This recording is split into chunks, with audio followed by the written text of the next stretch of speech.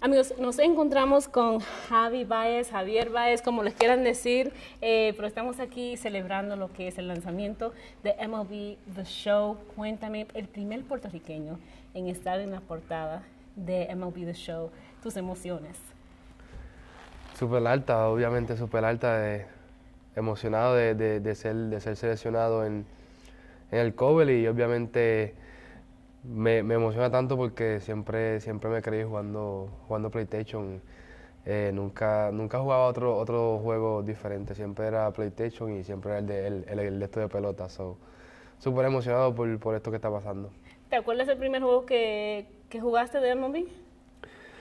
¿O quién estaba no, en la portada? No? no, no me acuerdo ninguno de los dos, pero es que hubieron muchos diferentes y en verdad que todo, casi todos los tuve. So.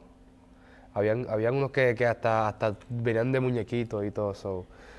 No, no, no, verdad no me acuerdo. ¿Qué tú piensas que esto significa para, para la isla de Puerto Rico? Súper, de verdad que es grande, es grande para ellos saber que, que salgo de ahí, obviamente.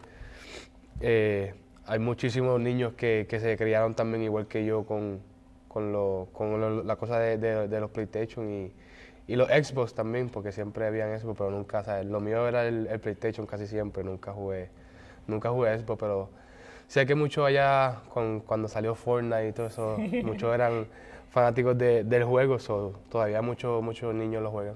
En tu camino desde Puerto Rico hacia la Florida, antes de, de llegar, ¿cómo fue ese camino para ti? De verdad, pues fue, fue bien difícil. Eh, Años año anteriores había perdido a mi, a mi abuela y a mi, y a mi papá. Y ahí fue que nos mudamos, nos mudamos para Estados Unidos.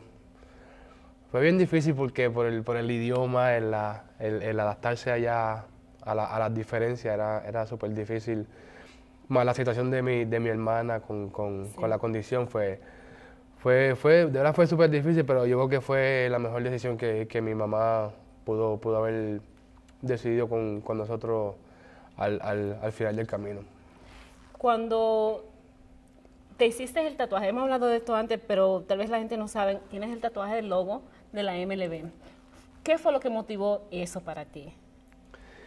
Yo digo que, que primero no, queríamos, como te dije hace, hace tiempo, fue un tatuaje de hermano, pero algo que no, quería que, que nos describiera a nosotros como, como éramos y como, y como nuestra familia nos, nos veíamos a, a, nos veían a nosotros, sí. que era como, como los peloteros, sea, era desde, desde, desde chamaquito, toda mi familia fue, fue pelotero y, y pero obviamente nosotros fuimos súper fanáticos del, del, béisbol y por eso fue que decidimos, decidimos eh, hacernos, hacernos ese tatuaje. ¿Siempre o fue fácil para ti verte en, en este mundo del, del béisbol y de, de las grandes ligas particularmente? No fue, no fue fácil porque de verdad que fue un camino difícil para, para llegar. Pero a la misma vez no, nunca, nunca me, me puse una, una, diferencia entre, entre Grandes Ligas y, y, yo cuando estaba en Liga uh -huh, Menor. O sea, uh -huh. Siempre lo tuve como una meta de, de, de estar allá arriba con ellos y, y, gracias a Dios así fue. Hablas de, lo, de lo, las dificultades que pasaste en, en el camino, pero hubieron momentos en que tal vez tú pensaste, las Grandes Ligas no son para mí, o sea, voy a tirar la toalla. No, de verdad, nunca. De verdad que pasé, pasé por, por, por muchas cosas mentales cuando uno, cuando uno, especialmente acá en Arizona, que, que está como que lejos de, sí. de, la familia, un poco más lejos que, que la de Florida. Eh, de verdad me, me, frustraba, como que me, me, me, entraba ese, el homesick de, de, estar con mi familia cerca, con mis hermanos. Sí.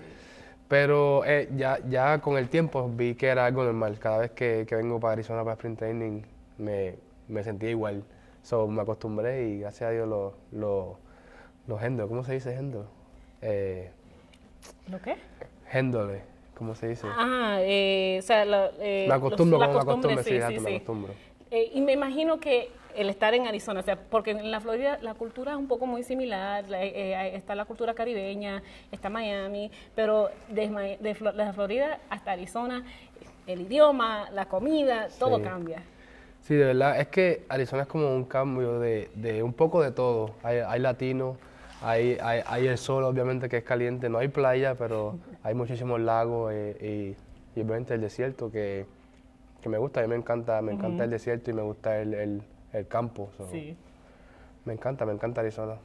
¿Cuál ha sido tu, cuál fue tu mayor sacrificio a lo- a lo largo de tu camino? Um, sinceramente, volver a jugar cuando mi hermana murió. De verdad que na- no, no, no me daba lo mismo porque obviamente uno, uno ama el juego y es lo que uno sabe hacer. Pero sinceramente me daba lo mismo regresar o no. Ya, ya como que no, no le veía lo divertido a... Porque la tenías a ella como apoyo. Sí, exacto, como que me acostumbré a jugar con ella. Siempre ella me vio en todo, en todo mi, mi proceso de liga menor, siempre estuvo en, en, en todas las ligas. so. Y siempre, y siempre lo tuve, nunca se lo dije a nadie que, que cuando ella faltara no quería jugar. Eh, hasta el momento que ella faltó. Se lo dije a mi mamá y ella obviamente me aconsejó y me dijo que, que eso no era así, bla, so. Seguí jugando, gracias a Dios. Gracias a Dios seguiste jugando, pero es algo que muchas personas se pueden, se, se pueden ver su misma historia en ti, porque hay muchos que pasan por algo así, ¿verdad? Pierden a un ser querido muy cercano y piensan que ya para qué hacer lo que estaba haciendo si ya esa persona no me va a ver, pero obviamente ella sigue contigo.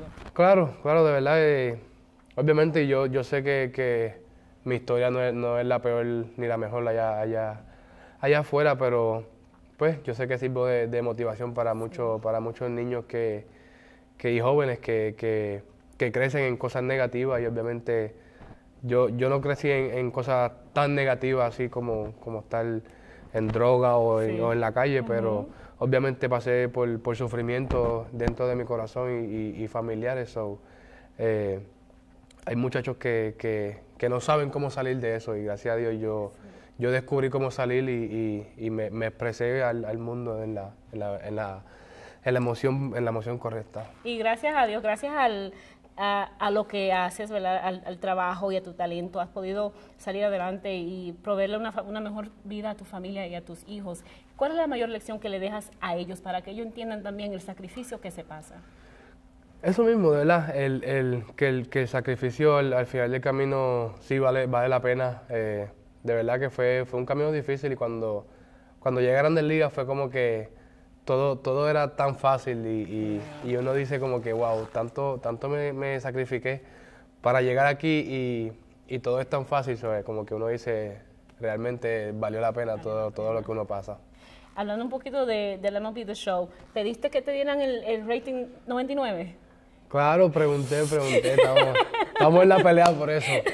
Eh, pero obviamente eh, se entiende, está, está Babe Ruth, está Ken Griffin, eh, obviamente Mike Trout está también para allá arriba. Pero nada, no me quejo. Yo sé que cuando juegue, cuando juegue el juego, le voy a dar, le voy a dar con, con todo a quien, a quien, contra quien juegue. Cuando juegas el juego, eh, ¿juegas como tú mismo o escoges a otros? Sí, sí, casi siempre, casi siempre escojo a, a Chicago y a menos que contra quien vaya a jugar quiera realmente jugar para jugar con, con mi personaje. so. Pero me gusta jugar con, me gusta jugar con mi personaje y, y siempre, casi siempre bateo con el bien. ¿Qué te pareció, qué te pareció la portada, o sea, la foto y todo eso? Brutal, brutal, de verdad que hicimos, hicimos muchísimas fotos y, y- y fue, fue, fue bien difícil porque muchas fotos estuvieron brutales y, y fue, fue difícil escoger una o, o- o dos como, como se hizo aquí. ¿Cuánto input o sea, tuviste tú en, en cuanto al diseño de, de tu, de tu personaje en el juego? O sea, tú puedes decir, eh, si hagan esto o hagan lo otro. Me preguntaron sobre los tatuajes, eh, si quería los tatuajes o no, y obviamente sí, los quería. Eh, se contactaron con, con los que me hacen los, los tatuajes, los dos, las dos personas, eh, y obviamente lo entrevistaron y le, le- le dieron el permiso de, de usar su, su arte, y obviamente súper agradecido con ellos que, que me permitieron hacer, hacer esto, y, y obviamente ellos son parte de esto también. Javi, muchísimas gracias. Eh, gusto en verte de nuevo. Suerte y te veremos ya pronto Gracias, ahí en Chicago. gracias. Gracias.